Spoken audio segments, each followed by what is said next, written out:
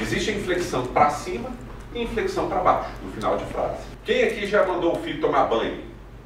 E ele não vai? Ó, inflexão para cima. Meu filho, quantas vezes o papai já falou que você tem que tomar banho?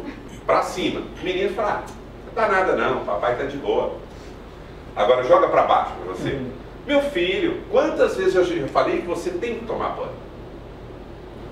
Aí pá, muda de figura. Então a gente usa essas, essa técnica também de pôr inflexão para baixo no final da frase para transmitir seriedade naquilo que você está falando. Então, se eu estou falando aqui para vocês que comunicação é importante, porque comunicação é importante. Querendo falar, gente, eu estou falando que comunicação é importante, porque comunicação é importante. Fica infantilizado quando você joga para cima e quando você joga para baixo. A coisa fica séria.